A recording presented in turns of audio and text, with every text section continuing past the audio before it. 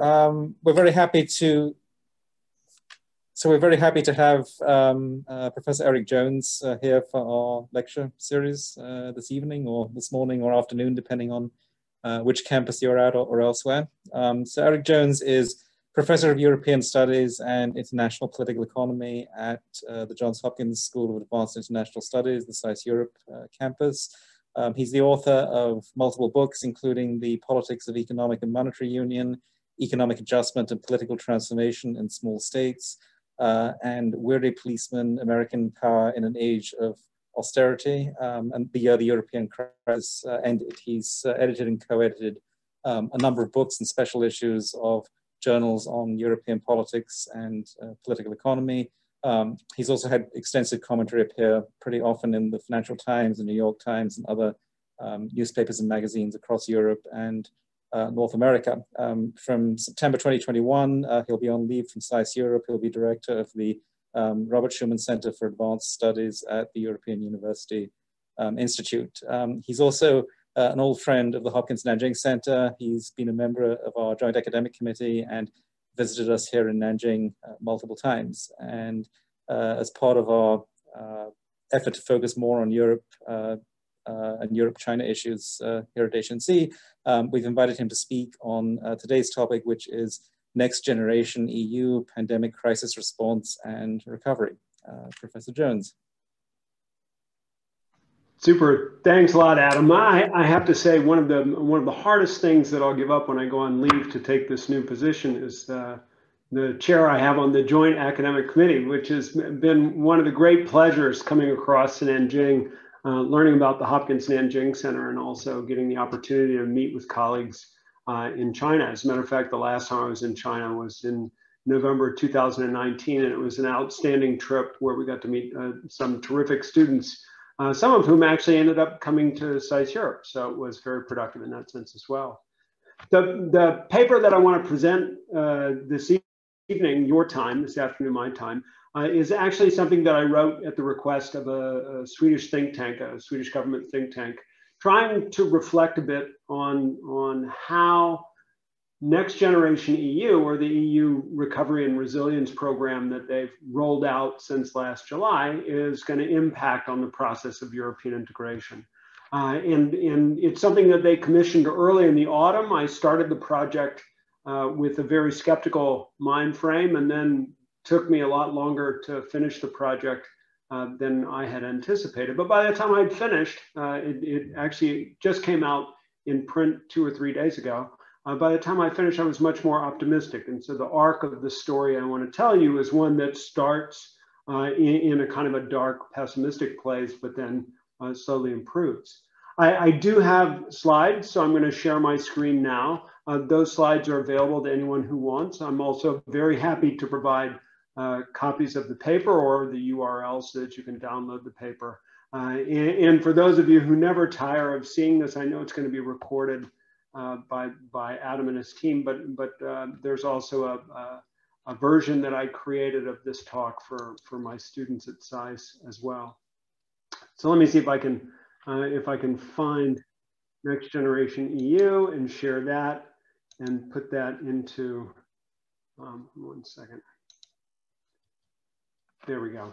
Um, now, the, the topic is the European Union's response to the pandemic and what it means for the future of Europe. Uh, by response to the pandemic, though, I should say much more political and economic response than epidemiological response.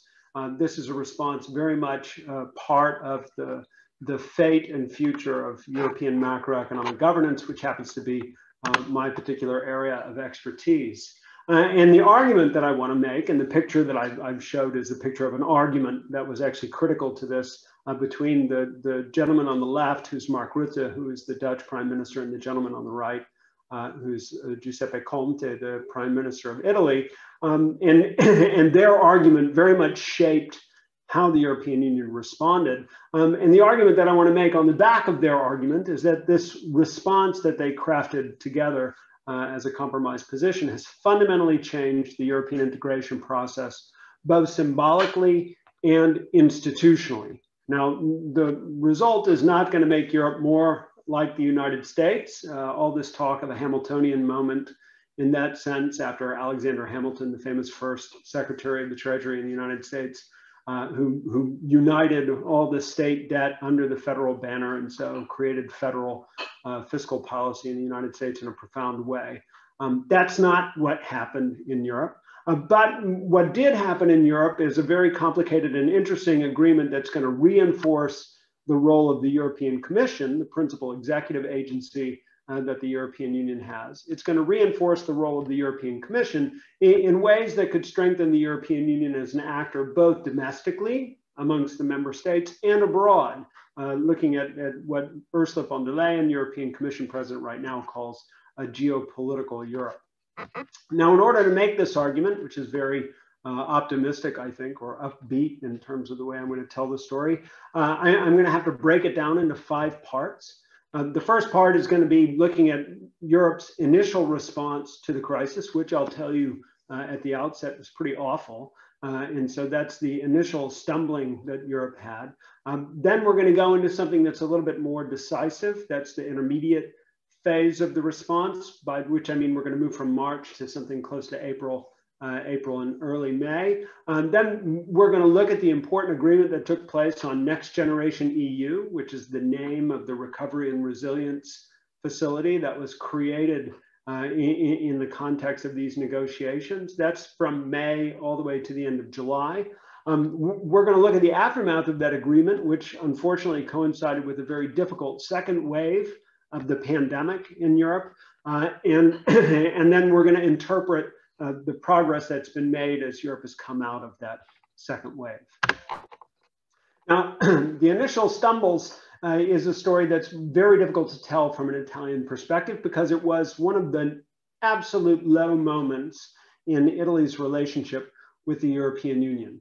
Um, when the pandemic first broke in Europe at the end of February in in 2020. Um, the first case in Italy on the 22nd of February, first confirmed case, uh, found Italy not embraced by the rest of the European Union, uh, but, but rather isolated.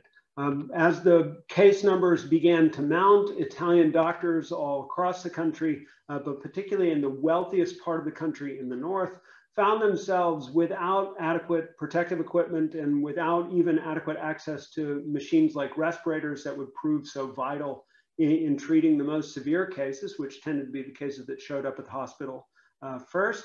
Um, they ended up without that equipment and they couldn't get that equipment from elsewhere in the European Union. Indeed, there were very many cases of other European countries hoarding their own protective equipment and refusing to share um, their ventilators and indeed begin engaging in a kind of a protective equipment or medical equipment nationalism that no one had expected. Uh, and, and, the Italians, already suspicious of Europe for a variety of reasons we could go into in the question and answer period, uh, really found their suspicions confirmed and their attitude toward uh, the European Union um, deteriorated quite dramatically. European solidarity was tested in, in that sense and found wanting.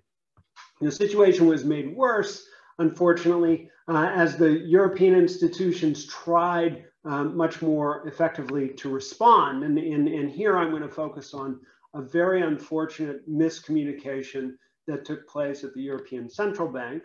Uh, the European Central Bank had changed leadership from an Italian president, Mario Draghi, uh, to a French president, uh, Christine Lagarde, and that change in the leadership took place at the end of 2019. Um, soon thereafter, Christine Lagarde tried to distance herself from Draghi's legacy in many respects, and she continued to do that all the way up through the 12th of March, which was the first big press conference for monetary policy that they had after the onset of the pandemic.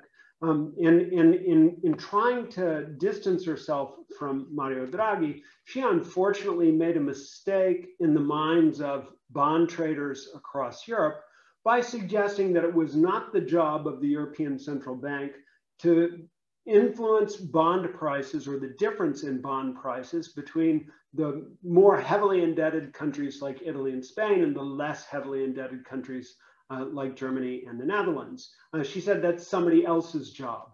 Unfortunately, when, when she said that, what she signaled is that a commitment that Mario Draghi had made in July of 2012, a commitment that was responsible for making the most acute phase of Europe's sovereign debt crisis go away, had suddenly been withdrawn. And, and ironically, despite the fact that the European Central Bank and its governing council had actually responded quite innovatively uh, and quite dramatically to the onset of the pandemic by introducing a range of new or newly calibrated policy instruments that should have stimulated economic performance at a time when when economies were closing down. Um, ironically, instead of that happening, what this miscommunication did uh, was send Italian bond prices straight through the floor and, and provoke a crisis uh, in, in, in Italian sovereign debt markets. So at the same time that Italy was being isolated in terms of medical equipment and all the rest, uh, Italy found itself being abandoned by the European Central Bank instead of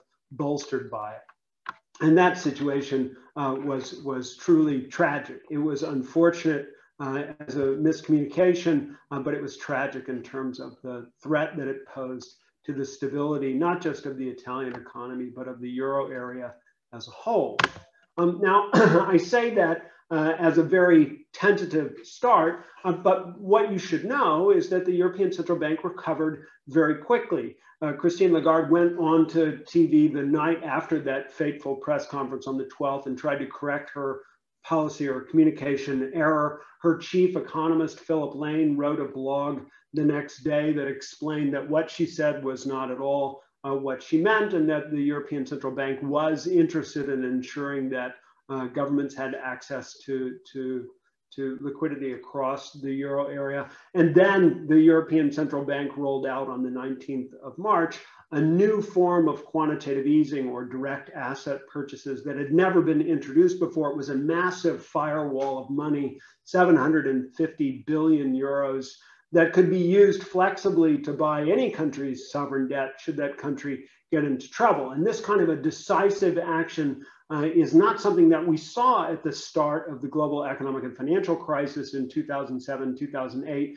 to the same degree. This was even more decisive. It was certainly a dramatic correction uh, of the communications error, and it set the stage for a whole series of decisive intermediate steps in Europe's response to the crisis. So while there were those initial stumbles in the period from February to mid-March, um, Europe quickly regained its footing.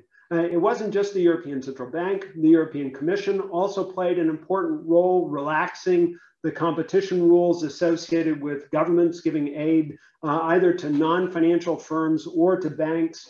And so ensuring that both banks and non-financial firms had adequate access to capital at a time when they knew they would experience losses, but also had adequate access to guarantees so that they could receive the kind of credit they required to carry themselves through what they knew was going to be a difficult economic period. Uh, and then the commission invoked what's called the general escape clause, which is a provision in both the preventative and the corrective arms of the macroeconomic policy coordination procedures that allows for the commission to reinterpret the rules for fiscal probity and, and to allow governments to run much larger deficits than they otherwise would be allowed to do. And so between the March the 13th uh, and March the 23rd, the whole policy regime and the commission's hands had changed to allow governments to intervene massively in a kind of a Keynesian fiscal way in order to prop up their economies. And between the monetary stimulus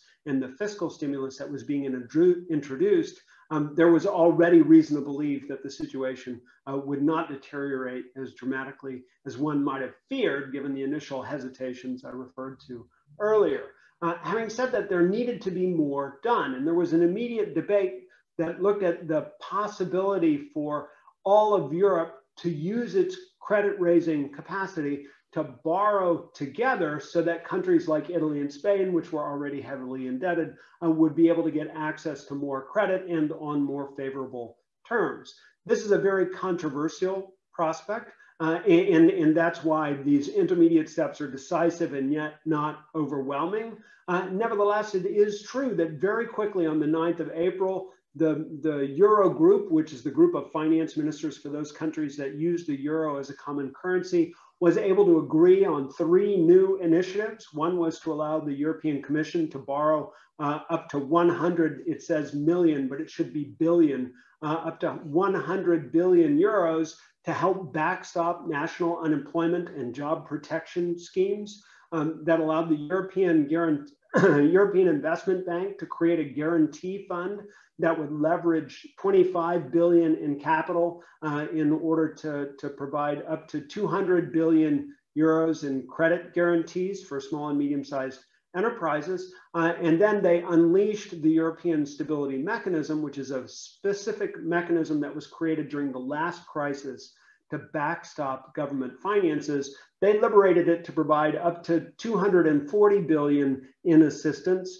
that could be used to finance the health related costs of the pandemic uh, up to 2% of a country's GDP. Now, this is a big package, or so it looks at least on the surface, uh, of if you add up the credit guarantees, the, the promise of loans for unemployment insurance, and, the pandemic crisis support from the European Stability Mechanism, that adds up to about 540 billion euros that was agreed uh, in principle on the 9th of March and then officially uh, by the European Council on the 23rd of April. So the 9th of April and the 23rd of April. Now, these were controversial issues, but, but if you bear in mind the timescale that we're looking at here, from the middle of February to the middle of April, uh, we have a fully fledged crisis response in place, which is much better than took place uh, in the global economic and financial crisis, where it took literally years for them to come up with an effective crisis response combination. So this is a dramatic improvement. Uh, and much of that improvement, I should argue, uh, much of the decisiveness that we see in this intermediate phase uh, is to be credited to the lessons that Europe learned from the last crisis. Indeed, it's worth wondering uh, whether this kind of decisiveness would have been possible at all had the last crisis not taken place. Uh, but, but given the experience of the last crisis, it was reassuring to see Europe move so effectively to introduce these measures that would stop the free fall in economic performance. Of course, it wasn't wholly effective um, because the free fall in economic performance uh, was only the intermediate stage in the long term, Europe would have to recover from this crisis. And so the other thing that was agreed uh, at, at, that April 23rd European Council summit was that the Commission would put forward proposals for how Europe would recover. And that's how we move from these decisive intermediate steps uh, to something much more important, uh, an agreement on how Europe would finance that recovery. Now, that agreement on the financing of the recovery brings us back to that debate I mentioned earlier about using all of Europe's credit raising capacity uh, in order to borrow money from the markets so that those countries most adversely affected uh, could use that money uh, in, in ready supply and at favorable rates. Uh, but something on the 18th of May happened that was completely unexpected. And that's something that happened that was completely unexpected was a proposal from the French and German governments to offer the money that Europe borrowed collectively, not as a loan at favorable rates to those countries badly hit, but in the form of a grant. In other words, it would be given money, uh, and, and, that given money uh, would be used by the governments of those countries most badly hit to finance their recovery. Now, of course, this money doesn't come from nowhere. The money has to be paid back eventually by someone, and those someone are European taxpayers. So with the Franco-German proposal, what they proposed in effect was not just that Europe would raise money borrowing collectively in order to extend grants to those countries hardest hit by the pandemic, but also that Europe's, Europeans would raise taxes collectively in order to pay back the loans that they generated, that the loans would not be the responsibility uh, of those countries that use the money. Now, this proposal from the French and the Germans was revolutionary in many respects because of that principle of introducing new tax instruments to finance new collective spending that would benefit specific countries. Uh, and, and, in the context of that innovation, it's unsurprising that there was some pushback. Uh, and the pushback came uh, in the form of a jointly signed non-paper, which is a, not a policy document, but a statement of principle uh, by the governments of the Netherlands, Austria, Denmark, and Sweden. And what they argued was that it's not possible for Europe to borrow collectively and then finance collectively the debt that they've raised in the way that the French and the Germans had proposed, that it would be more responsible instead for Europe to borrow collectively and then provide a loan, just as in that European Commission program to backstop unemployment and employment protection schemes, they would provide a loan to national governments that national governments would then be responsible for repaying. Uh, so where the French and the Germans had argued in favor of only grants, the Dutch, the Austrians, the Danes, and the Swedes argued in favor of only loans. Um, what the European Commission did was tried in a Solomonic way to split the difference, uh, adding a loan component to the grant component that the French and German governments had proposed beforehand. And the whole negotiations that take place between the 27th of May uh, and the end of July are negotiations about the balance between loans and grants, the degree of national responsibility that would be attached to any spending, how the oversight would take place, what tax revenues would be raised, and, who ultimately would be the beneficiaries of this new form of spending. This negotiation is obviously complicated. Um, and when you think about the time frame involved, it was unbelievably accelerated. But given the nature of the crisis that everyone was facing, uh, the response was in many ways proportionate. By the end of July, although there was a long European Council summit, usually they last about two days, this one lasted uh, almost five, uh, although there was a long European Council summit, they were ultimately able to come up to an agreement.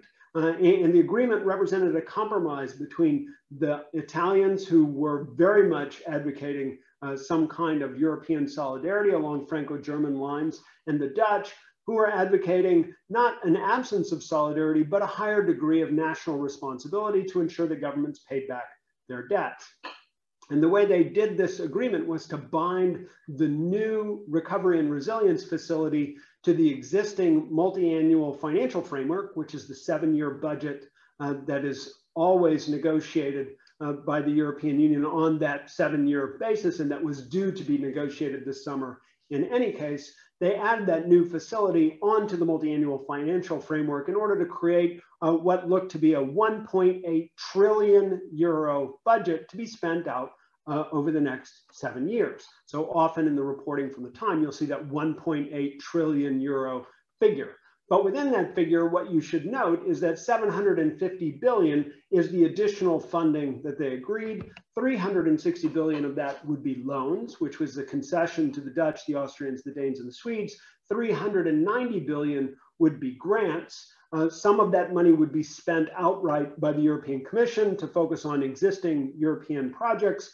Other money would be allocated according to a needs-based formula to the governments of the member states. All of the spending would be focused on key European themes to promote a digital transformation, to ensure a green transformation as well, and to enhance the resilience of national and European economies. Uh, and, and all of that thematic focus and enhanced resilience would be underpinned by strict supervision uh, on the part of the European Commission according to an equally strict timetable. Uh, all of the contracts need to be written by December of 2023. Uh, all of the money needs to be out the door by December uh, 2026. Uh, when you think about how much money we're talking about, um, this is an extraordinary feat, and that means that there needs to be a massive transformation in the way that national procurement is done uh, and, and national projects are supervised.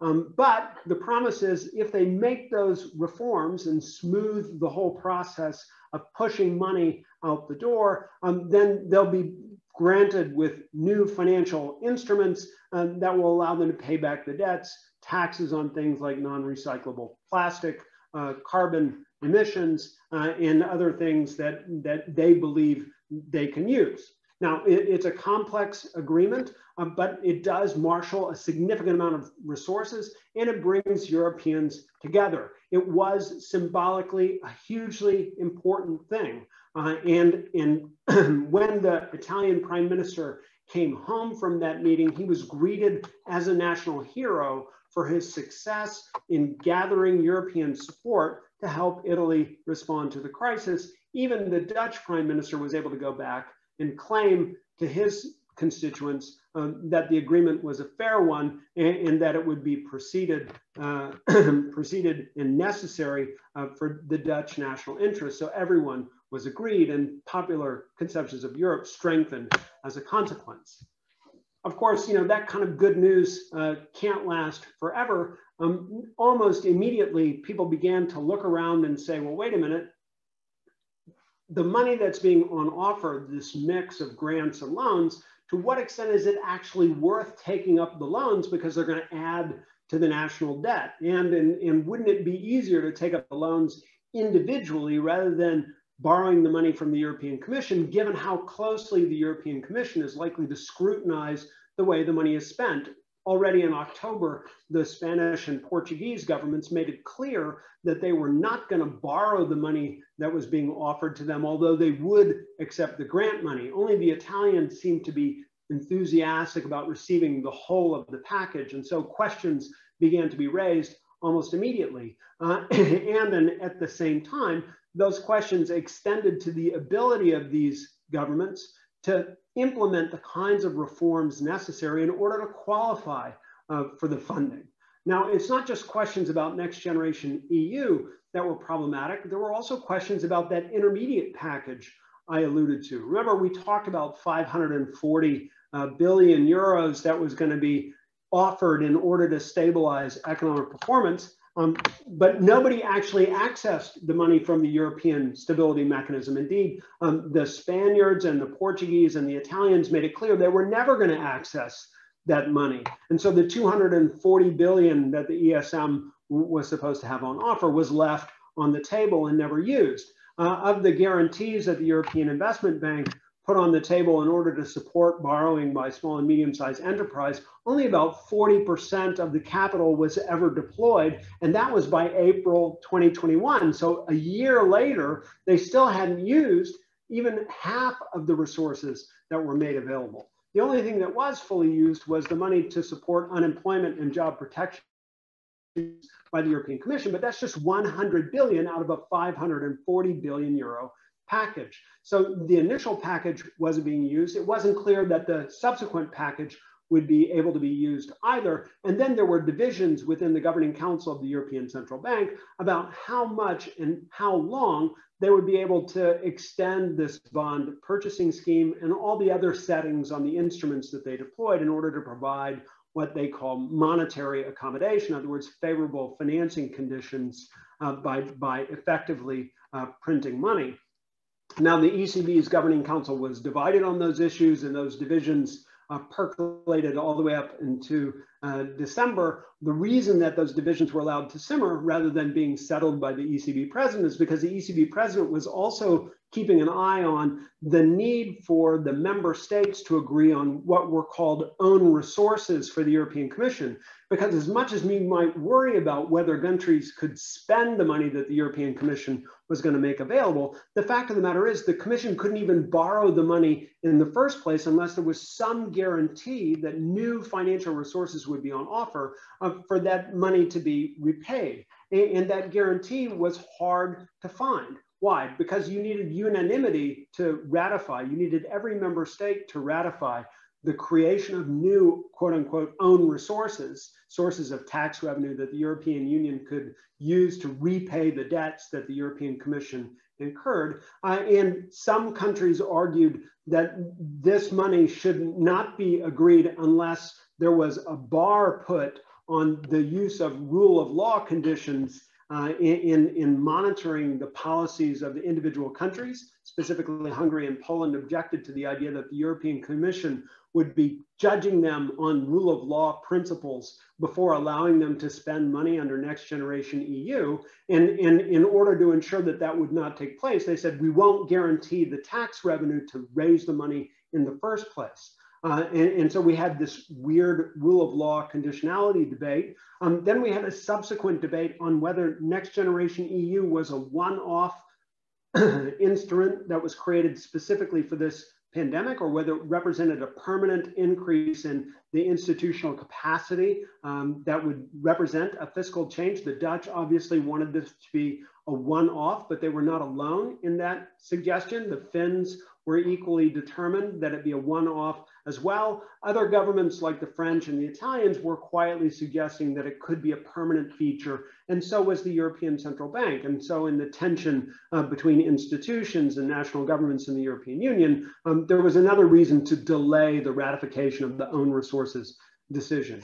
Um, these arguments unfolded far longer than anyone anticipated that was supposed to be wrapped up uh, in January or February, but instead extended all the way into May of 2021. And, and this is against the backdrop of the unbelievable death toll that was imposed uh, when the second wave began to crest. Almost as soon as we started to have these conversations about ratifying the own resources decision about divisions within the governing council of the ECB and, and about the slow take up of the intermediate decisions that have been made, uh, we began to see the case numbers rise in France, Spain, the United Kingdom, uh, Italy, even those countries that were less adversely affected by the first wave, like Germany, found themselves quickly inundated and under lockdown. So the situation in Europe was looking pretty extreme.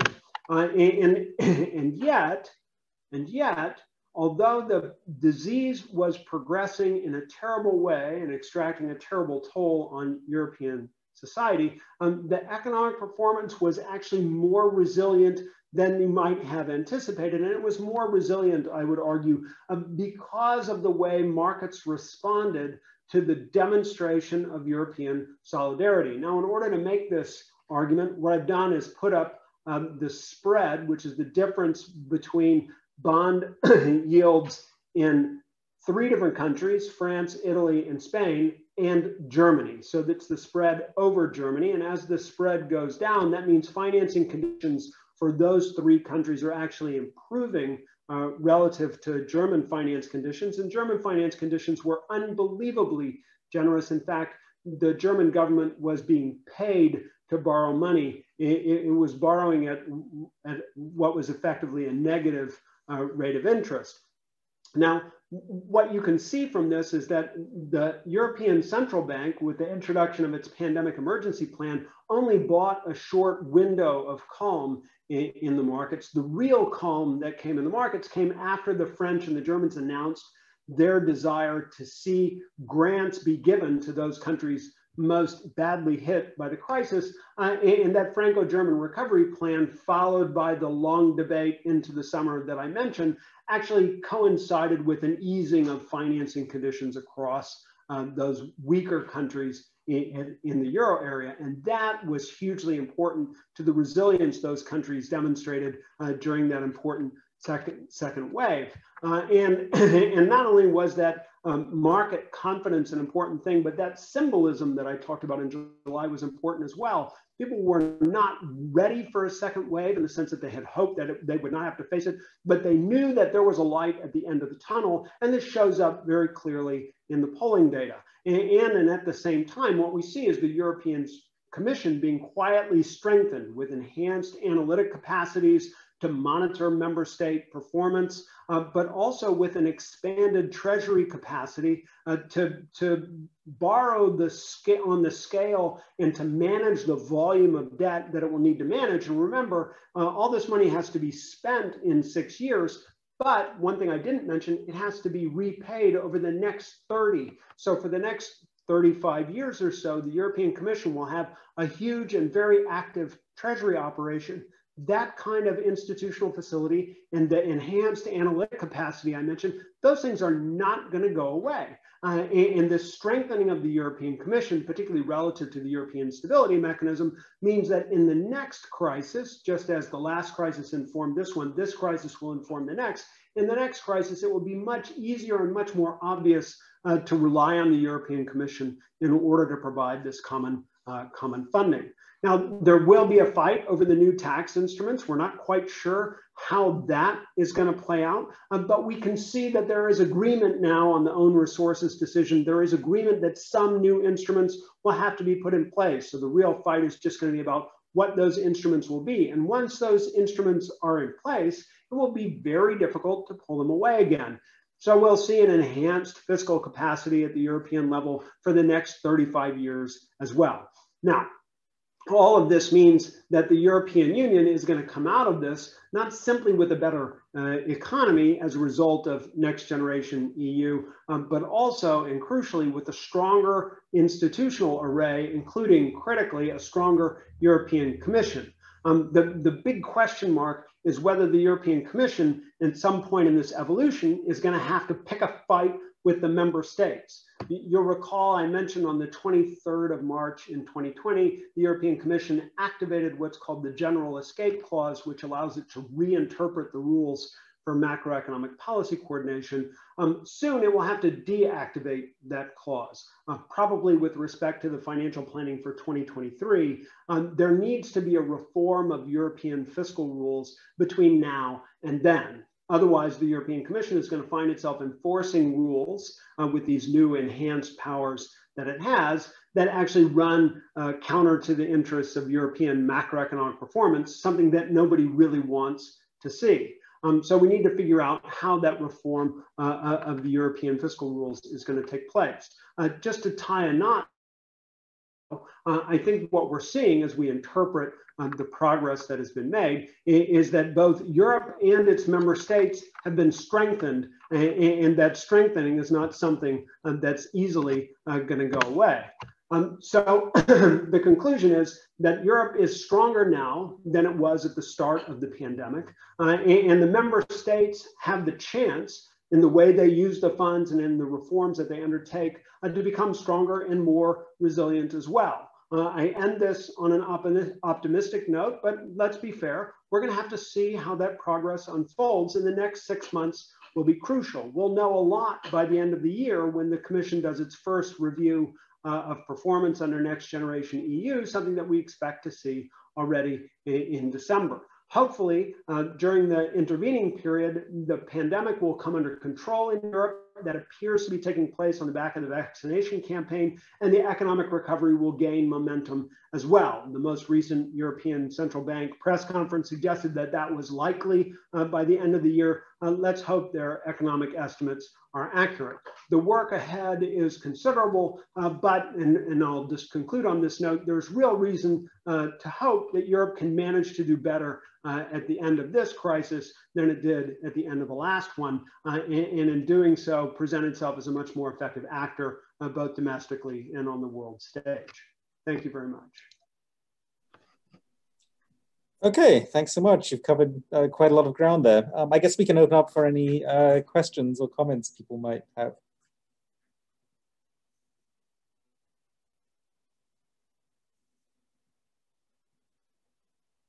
Well, I'll, I'll, get us started with one question I had. I mean, a lot of what you've been describing is focused on, you know, guaranteeing debt and on supervising expenditure and so on. I mean, the other um, dimension of fiscal union, in a sense, would be revenue. I mean, how far do you see that going um, sort of in, in, in, the next few years in terms of generating common sources of revenue or, you know, the, the, the other side of sort of fiscal integration, as it were?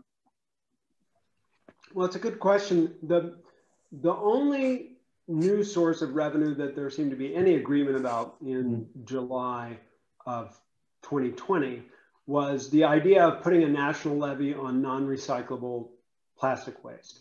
Um, and, and that national levy wasn't a direct tax on non-recyclable plastic.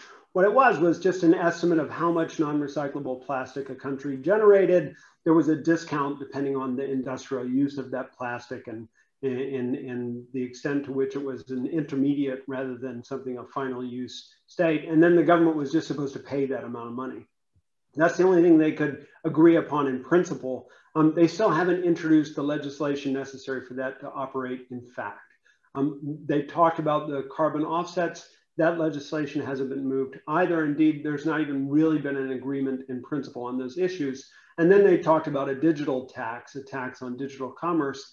Um, that's even further down the pipe in terms of its evolution. So, so in that sense, I, I think one could be pretty cynical um, and, and less than enthusiastic about Europe's prospects, particularly since the whole debate about tax in Europe has been sidetracked by the American proposal to introduce an, a global minimum corporate tax rate, um, which has opened up a whole different conversation about what the rate should be, whether there should be exemptions for particular industries, and how it should be managed across the European context, a conversation that's taken us mm-hmm. uh, completely off in a different direction.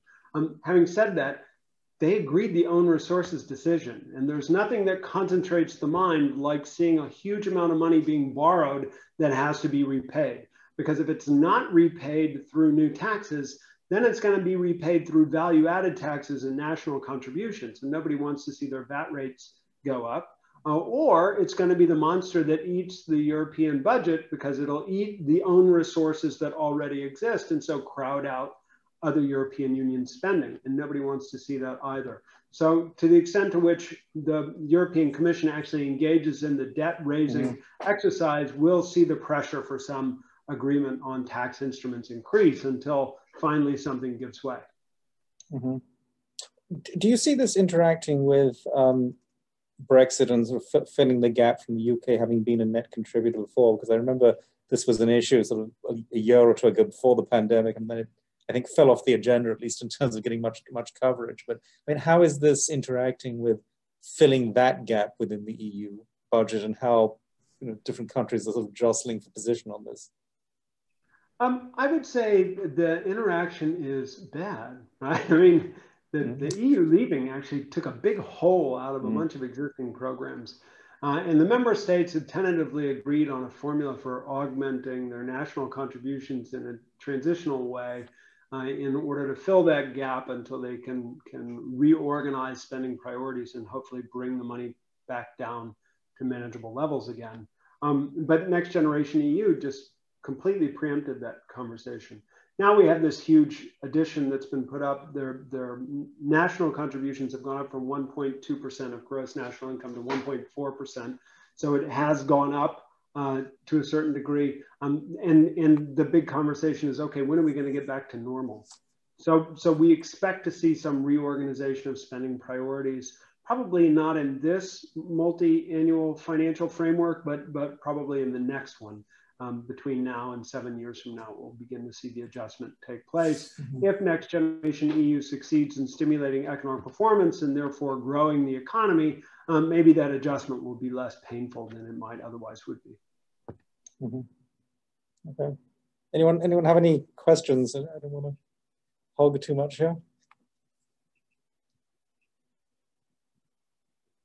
You can either type in the chat or raise your hand if you prefer. Erik, it's John Urban. I have a question. Um, you were speaking of, you know, about essentially how this locks in a new role, like a treasury role for the European Commission for, you know, not the next five years, but for the next 30 years. Do you see, you know, once things return to normal in two, three, or at least hopefully the next few years, yeah, do you see like 10 years on, um, as the commission takes on a bigger role, do you see, you know, like EU uh, critics, you know, kind of using this as a, as a rallying cry to kind of, you know, uh, against the commission's expanded role and like you see unforeseen consequences um, in, in the mid to long term? Well, it certainly sets up an odd tension between the European Commission and the European Stability Mechanism. And the European Stability Mechanism has some very strong supporters out there. The recent reforms to the European Stability Mechanism, they agreed a new treaty for the European Stability Mechanism back in the spring of 2019. And it's taken from 2019 all the way through 2020 to get that ratified. And that new treaty came into place in February of this year. Um, the European Stability Mechanism now actually shadows the European Commission in terms of its uh, supervision of fiscal policy coordination. So the two organizations exist uneasily side by side. And there, John, I think you may, may have a point. People may look at it and go, well, why should we have two organizations that seem to be doing the same thing? Um, but, but unfortunately, for the European Stability Mechanism, the ESM exists outside the treaty framework, and the Commission is central to the treaty framework. That means the ESM is oddly vulnerable in an odd sort of way because it's an intergovernmental organization that's attached to the European Union but not part of the European Union. And so despite the fact that it has very strong friends, the institutional position of the European Commission is stronger. Um, the other thing that, that puts the ESM on the back foot is that the European Commission will have to manage this debt for the next 35 years. And, and, and that means that whether we like European Commission have treasury operations or not is not an issue. They have to have some entity capable of ensuring that they're rolling over debt as it matures across a range of different maturities um, and, and maintaining a mix of instruments out there to maximize uh, the, the credit available at the lowest possible cost. Um, and, and that means that they're going to have to have active treasury operations. It's as simple as that. So, so as much as it might engender conflict, um, that conflict is, is not going to result in any, any kind of institutional change. On the contrary, the commission will keep generating expertise. And, and, and then a last point on that. Um, remember the SURE program, which is the one that provides loans um, for governments to backstop their unemployment and job protection schemes. That program is not controversial, and other programs like that could be added along the way, which will only bolster the responsibilities of European Commission Treasury operations. So I suspect we're, we're not going to hear the end of that story, no matter how controversial it emerges to be. Thanks so much, Erik. That was really, really uh, interesting answer. Um, I have a slightly different question. I, I remember looking at the um, chart you had with the, the spread on the, the bond rates reflecting you know, perceived risk uh, of different economies with Germany as the, the, the kind of baseline there. Um, over, over the last, I guess, 10, 15 years or since the beginning of the, the, the euro, how much has that spread narrowed? I mean, is, is the perception of the relative risk of these economies narrowing over time? And the, re the reason that I ask that is because it seems that, I mean, you can look at this from either direction, right? Either that these kinds of solidarity mechanisms um, reduce the sense of a, a, a, spread in risk between different economies because they're all in the same boat together or, or, moving into the same boat together. But if you look at it from the other direction, to the extent that that perceived difference in risk narrows, it actually may reduce some of the resistance to to sharing risk, right? If the, the gap is not actually so so wide. I mean, how, do, how do you see those those long-term trends and whether these kinds of things actually may reduce some of the sense that one is taking on um, the obligations of less sound economies? So that's a really good question, Adam. And it, it's revealing about the evolution of Europe's economic and monetary union. When the single currency was created in 1999, um, the spreads across long-term sovereign debt. So we always talk about the spread in, the context of 10-year uh, benchmark sovereign debt. The spreads across this 10-year benchmark sovereign debts had already collapsed to below one half of 1%, right? So if a basis point is one one hundredth of a percent, they had fallen below 50 basis points across the euro area, including after 2001, uh, Greece, right? So, so Greece paid 50, fewer than 50 basis points um, more than Germany in order to borrow money. Um, if you were to compare that to Greece in 1991, in 1991, Greece paid what about 24 percentage points, right? So that's 2,400 basis points compared to 50 basis points right? So that's how much bond markets had converged in terms of pricing uh, uh across that period from 2021 to 2001, for example. Um, in 2007, um, those spreads start to widen out again. And the, the crisis that we conventionally talk about as the European sovereign debt crisis extends from about 2009 to 2012, where they blow out to be pretty big. Italy's spread in 2012 over the summer was something around 350, 400 basis points. Um, and so that was big, right? Compared to 45 to go out to 400 was big. They've been trying to bring those spreads back down again.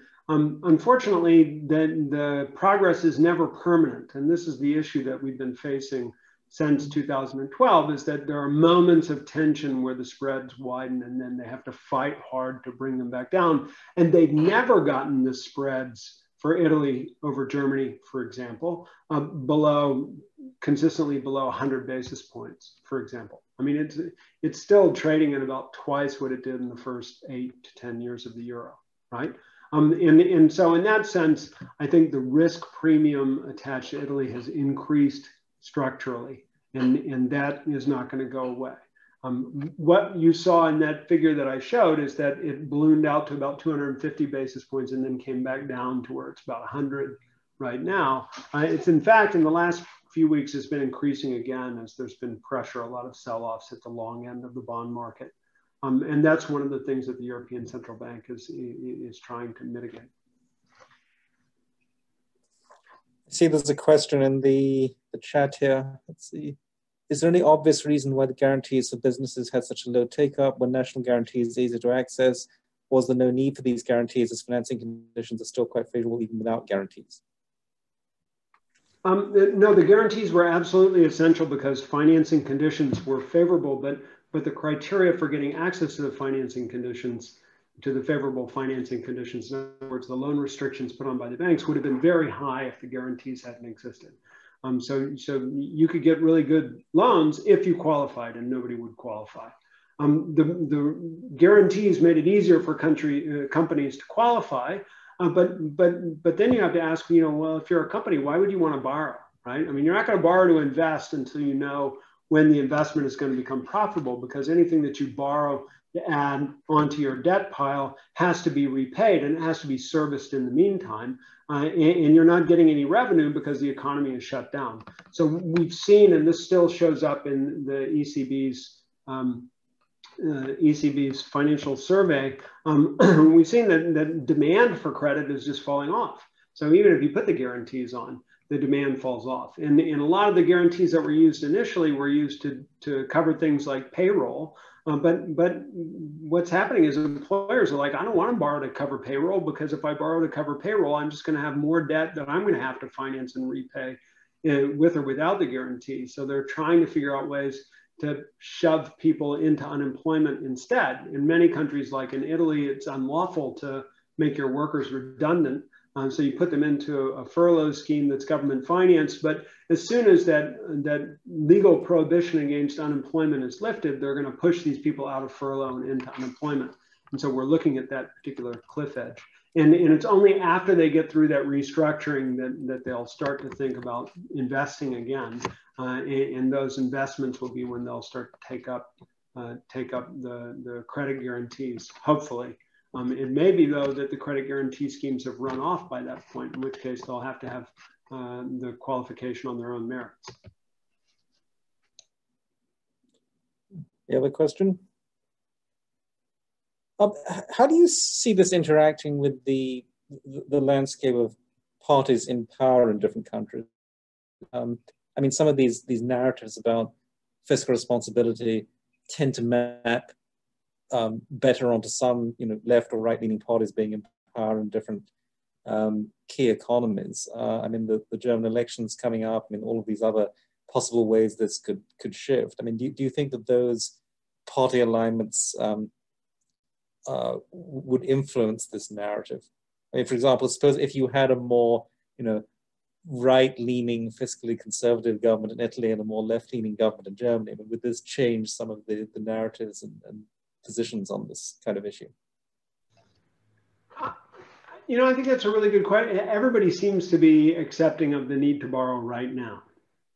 Mm-hmm. So in Germany, everybody accepted that for 2020, they could not apply the debt brake um, and they would borrow as much money as they needed to keep the economy going.